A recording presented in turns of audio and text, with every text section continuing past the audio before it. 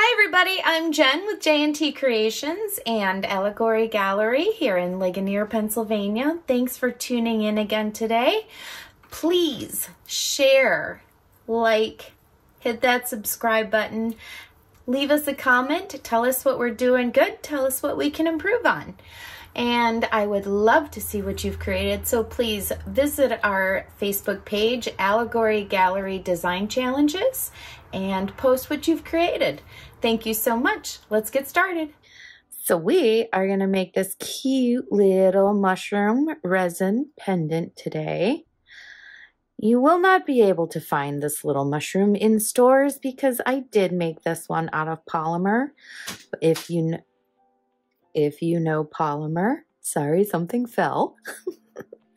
um, if you know how to do polymer, this is just a cute little white uh, stem I made with a little mushroom cap and I painted the little dots on there. Um, feel free to use some things that you find in nature. Just make sure that they are completely dry. But tackle the polymer. Maybe one day we will make these mushrooms on camera too. All right. So I have my little tray of goodies here. I've got the mushroom. I've got some sand. I've got some moss that I broke up. And I have this cute little star thingy I found in like a stationery kit or something. Um, and I have a pinch bail. You'll need that too. Some handy dandy tools. One of these little dobbies here. This is actually a polymer tool, but you can use it for like painting dots on mushrooms and all kinds of things. Moving things in polymer trays. Uh, you will need a silicone tray too. Um, this is really inexpensive, especially if you have coupons. Uh, we have a UV light because this is UV resin. I have this little pokey thingy here. This is actually a, uh, an earring wire um, smoother, but that is exactly the same size as that little doohickey there to put the bail through. Um, you might need some sandpaper or I just use a nail file because they're cheap and I have them. And then we have the UV resin itself and some tweezers are kind of handy in case you didn't want to handle the littles. So getting started, the first thing we are going to do is not shake our resin, and we are going to make sure that it's room temperature. Resin pours much better and you'll have much better results if it is room temperature. If it's chilly, bring it in a warmer room, let it warm up, put it in a sunny window, but not if it's UV. Um, and in a clear bottle. Make sure it's not in a clear bottle. The great thing about UV resin is you have a lot of work time with it because it will not harden in the air. So you get to take your time and make sure everything is where you want it and push it around if it's not. And if you see any air bubbles, you have extra time to get rid of those air bubbles. The thing with air bubbles, make sure that you do not squeeze the bottle too fast. Make sure you don't shake the bottle, roll the bottle, and pour it in a solid stream if you can instead of start, stop, start, stop, start, stop. There's that. And the first thing you want to do is put a nice little thin layer in so that you can get your little thingy stuck. And we're going to actually use the UV light to cure that first pour that we do. And it also kind of adds a little depth to your piece. So you can put things in layers. Make sure that your mold is clean. This one's got a little dirt in there, but we're not using that one. We're going to use this one. Right, and make sure you work in a well-ventilated space. This is stinky, and you don't want to breathe it in. So let's pour a little bit here in our tray. I'm pouring slow and steady. There is a little air bubble in there. that's easy to deal with if you have a pin or one of these little handy dandy pokers. So just kind of spread that out. A paintbrush works too, although I do not like cleaning the resin off of paintbrushes. So I don't recommend the paintbrush. Unless the resin is dry and you're just using it to move around, like your sand, if a little spot of sand got in the wrong spot.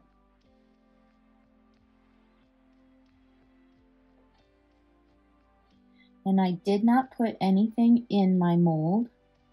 When this cures, it will come right out. If you have any air bubbles you notice that you're not able to get out of there, kind of push them to the side where you're not going to see them. In this case, we're not going to see them in the bottom of the pendant because it's going to be covered with sand. And just kind of redistribute that. Make sure you get it in the sides as well.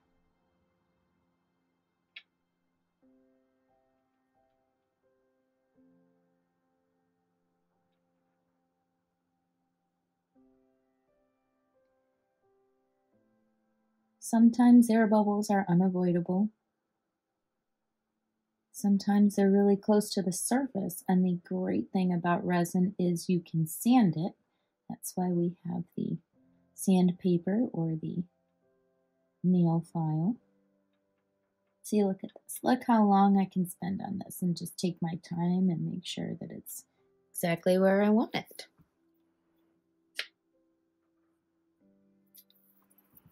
All right, so let's cure that. It only needs to be under the UV light for about a minute. And these are also really inexpensive. You can also, here's the thing I forgot to mention, you can also cure this in the sunshine. So on a nice sunny day, put it outside or put it on a really sunny windowsill for about 10 to 15 minutes and it's going to do the exact same thing.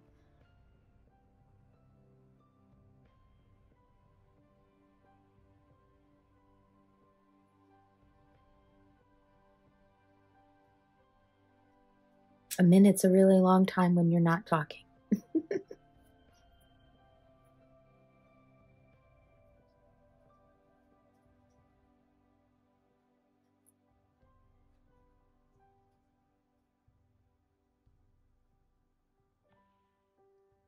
and fun fact, you can also use this little guy when you're doing your nails and you've got the gel that needs to be cured under the UV light. It's a multitasking tool.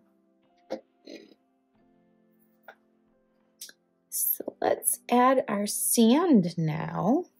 And I have a little scooper thingy on the end of my plastic tweezers here. So I'm going to do my very best to do a controlled pour.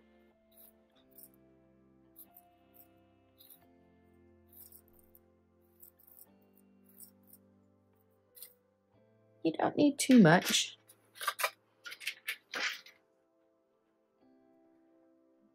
You want to make sure that it's not going to reach the top of that pendant either. Because if any is touching the surface of that, you're going to feel it through the resin. It's not going to be nice and smooth. So just use whatever tool you have spread that out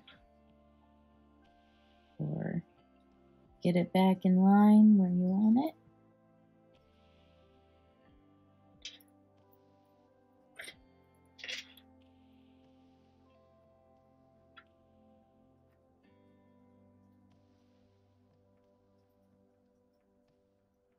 Can you hear that? That resin is completely solid. This little jobby did the trick.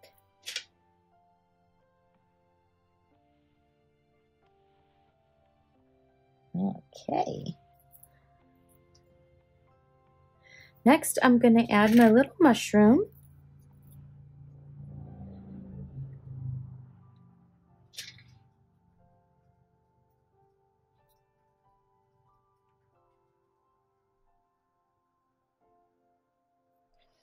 And I will have to kind of dig it down in a little bit.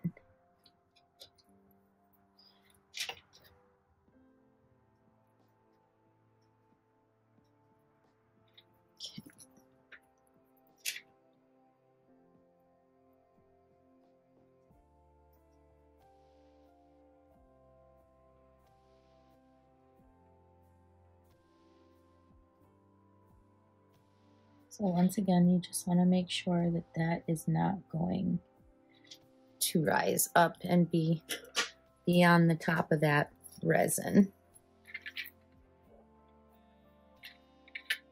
Let's add in some of our fun little moss.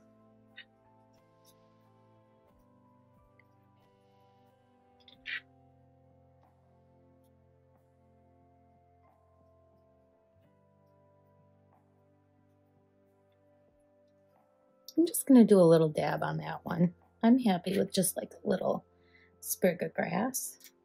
And then here comes our sun. That's what I'm calling it. I don't want that straight either.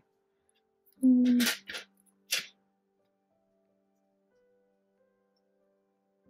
There. When you are happy with the placement of all your stuff, it's time to pour the next level. So once again, solid stream. Don't shake it.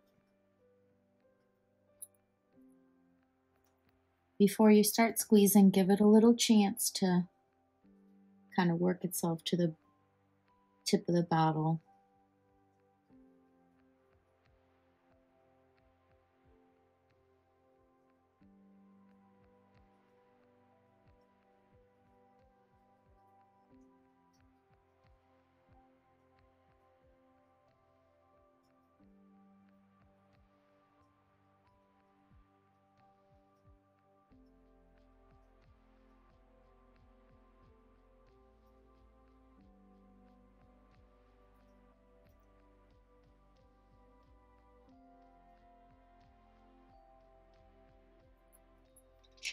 When you get to your sand,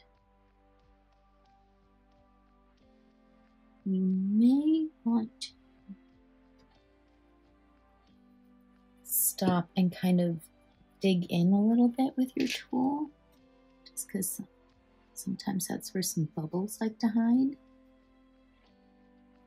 This bubble that's right there, we're going to work that down to the bottom.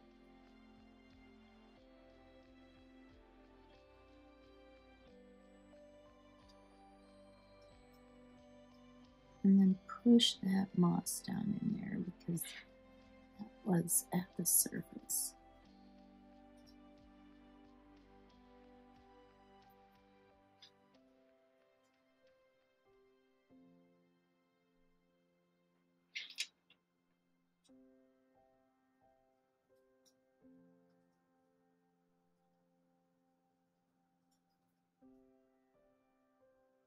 See how great this is? You get so much time unlike traditional resin.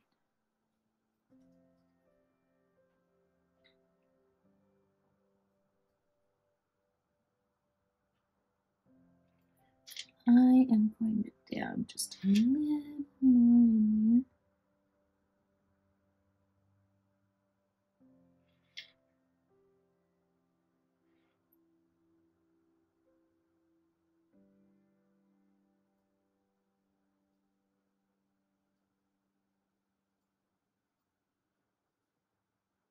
Make sure everything is embedded down in there.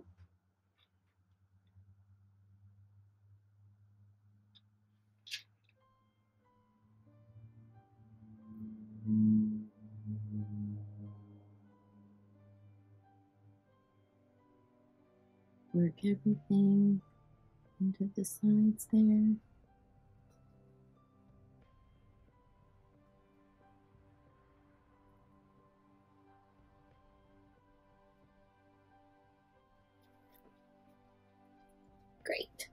I'm happy with that. I'm going to pour just a little bit more in there.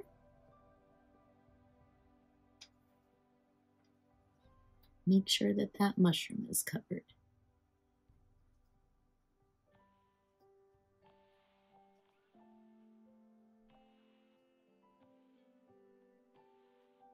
There's a giant air bubble on that one. We'll work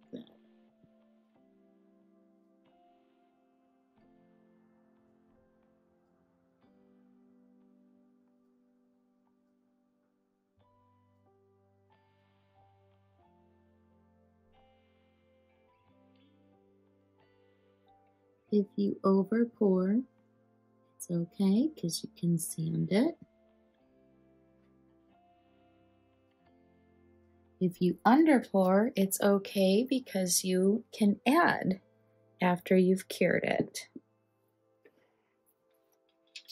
And you can also use your resin as a glue if you wanted to add a bail and it wasn't the kind that you can just pinch bail. Um, if you have something like a metal part you wanted to glue in there, then you can use resin as a glue as long as the light can reach it. If it's covered up by a finding and the light can't touch it, then you are out of luck.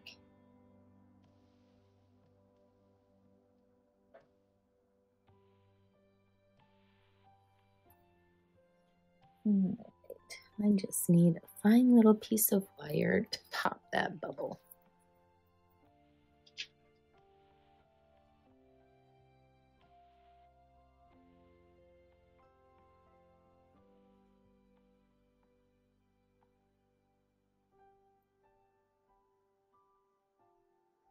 I'm kind of working that bubble up to the surface a little bit. To try to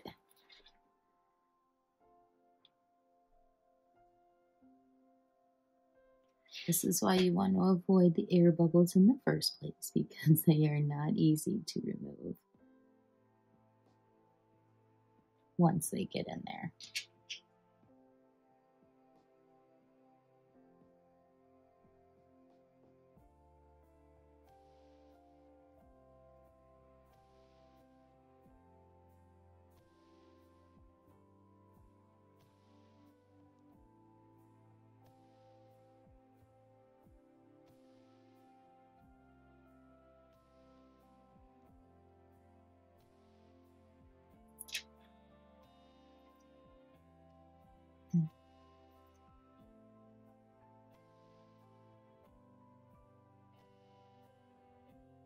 And make sure all of your moss stays submerged.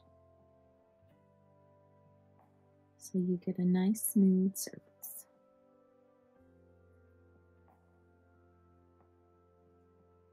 Oh yeah.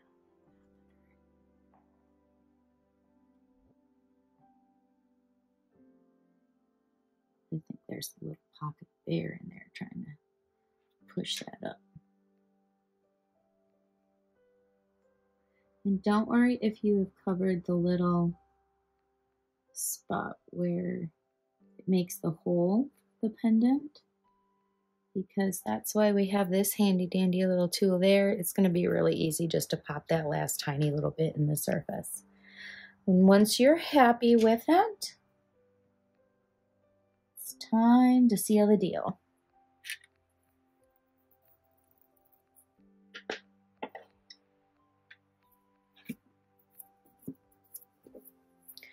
So I like to do this for about five minutes and then I take it out of the mold.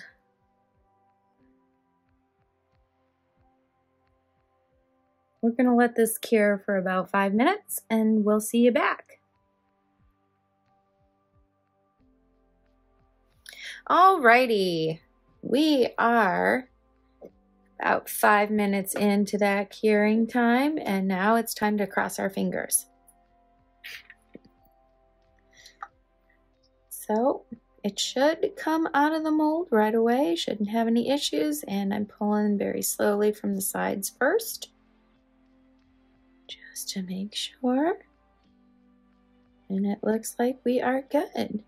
So then slowly push up from the bottom. Fabulous. Look at that. Came out really good. Just as a little extra precaution, you don't really have to, I don't think, but I like to go for another minute on each side. Just in case things are a little tacky.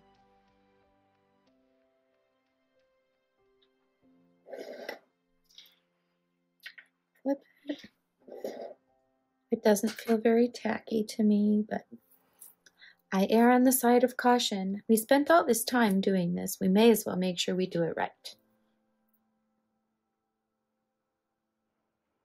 And while you're waiting for that, go ahead and open your pinch bail so it's going to be wide enough to get onto that pendant.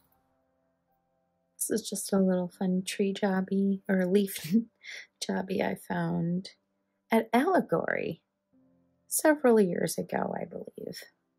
And I still had some.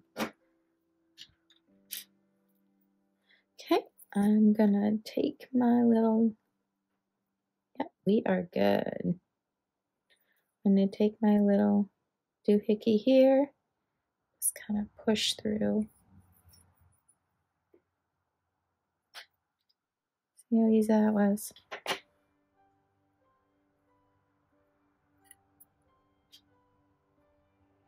Now put your pinch bail on and give it a squeeze.